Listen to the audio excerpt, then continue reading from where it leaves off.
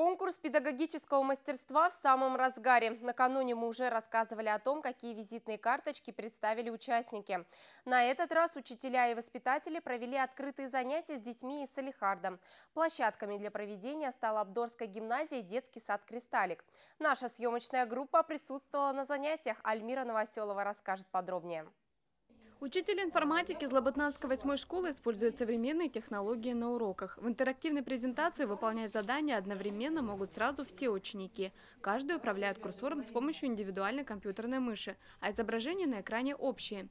На открытом уроке Наталья Каляева учит своих новых учеников из Абдурской гимназии создавать гиперссылки. Чтобы члены жюри могли объективно оценить работу педагога, урок ведется с детьми, которых она впервые увидела лишь за пару минут до начала урока.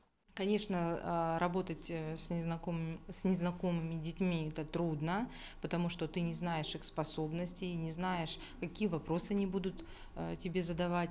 Но а, урок показал, что а, все прошло хорошо. И вообще учитель это ведь такая профессия актерская, когда учитель как на сцене исполняет свою роль и должен быть готов во всеоружии всегда. За звание лучшего воспитателя и мало борется Олеся Толстопятова из города Семилиственниц. Воспитатель рассказала малышам из детского сада «Кристаллик» о белых журавлях-стерхах. Эти птицы занесены в Красную книгу. За 20 минут занятия ребята совместными усилиями создали плакаты, которые помогут привлечь всеобщее внимание. Благодаря интересной теме и увлекательной подаче Олесе Александровне легко удалось занять ребят. Если любишь детей, то, мне кажется, это совсем не трудно. Главное их увлечь, чтобы им было интересно, и найти с ними контакт. Тогда будет все просто.